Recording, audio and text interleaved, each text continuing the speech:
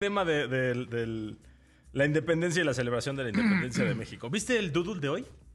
No lo vi. Estuvo, está bien padre. Google, como siempre, atento a los grandes festejos. Pues yo no para veo plasmar ninguno. Los, ¿Cómo no? Mira? ¿no te apareció? A ver, dale, refrescale o mete a Google México. Así ponle. Este.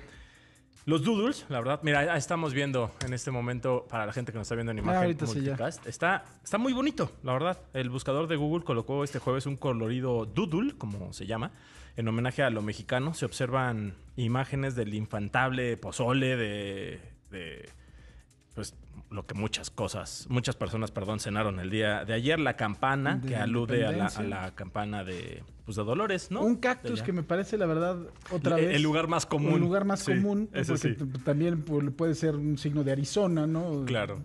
Sí, Pero de bueno. cualquier, de, eh, de cualquier este, desierto Sí, por allá. Pero bueno, la idea es pues celebrar las fiestas patrias, conmemorar este 16 de septiembre. Entonces, siempre se agradece. Está, estuvo padre. También había, creo que, un, un rebozo y un sombrero de palma o por ahí, ¿no? Es un rebozo, bueno, un sombrero de palma con un rebozo, una lelé, uh, muy al estilo de ellos, porque es una lelé, pero está con una falda, está, está haciendo un- una faldita, la está levantando.